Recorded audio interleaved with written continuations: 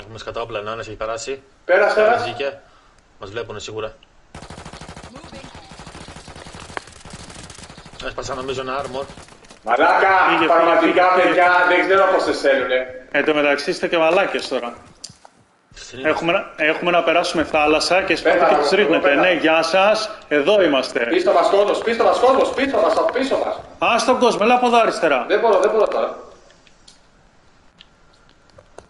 Γαμώ το σπίτι μου, εγκλωβιστήκαμε πάλι σαν μαλάκες.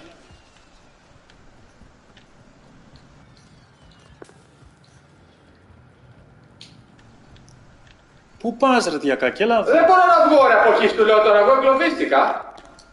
ρε τσορί περίμενε ρε μαλάκα λίγο. Έχουμε κόσμο δεξιά κοντά μας. Περιμένετε, το περιμένετε ξέρω. ρε, περιμένετε λίγο. Ε, τι περιμένετε;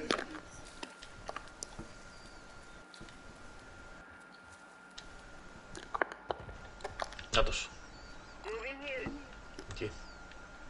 Ένας, έναν είδα.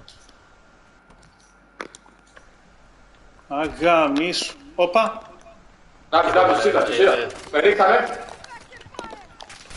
Κάποιος ρίχνει από πίσω. Μπείτε μέσα, μπείτε μέσα. Πέθανα από κύκλο.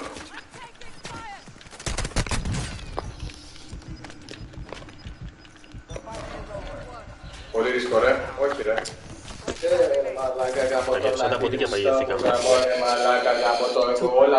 Πράγμα είναι αυτό, ρε μαλάκα. Συνέχεια, ρε μαλάκα. Τι πράγμα αυτό, συνέχεια, ρε. Εγώ γιατί δεν παίζω γκούλακ, ρε μαλάκα. Έχεις.